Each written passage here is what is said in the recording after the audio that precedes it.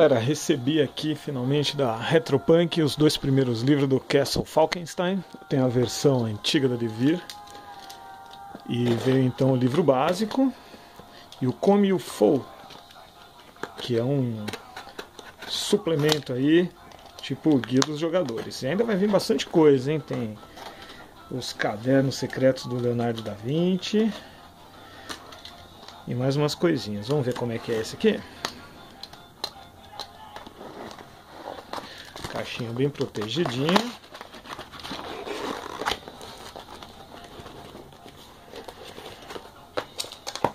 Aqui vamos. Ao fundo aí vocês estão ouvindo This Way for the, to the Grass, música Sente, um dark cabaré bem legal para entrar no clima aqui do, dos livros da Retropunk. Fechando um minuto, vamos pro próximo.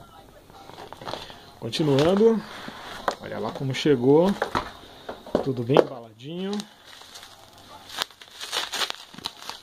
Vamos dar uma olhada nesse material maravilhoso aqui da Retropunk. Só tenho que agradecer os caras porque eles estão fazendo um material de qualidade faz tempo. Mapinha de pano já. Luvinha para esses dois livros. Olha que coisa mais linda. Ó. Vamos abrir aqui para ver. Olha que legal, mapinha da Nova Europa. Vontade de enquadrar isso aqui. Aqui a gente tem pôster com a capa original, Castelo Falkenstein. Mais aqui uns resumos básicos. Para quem não conhece esse jogo, ao invés de usar dado, ele usa cartas de baralho. Aqui a luvinha. Junto com os dois primeiros livros, então. Vamos ver. Que coisa linda, hein?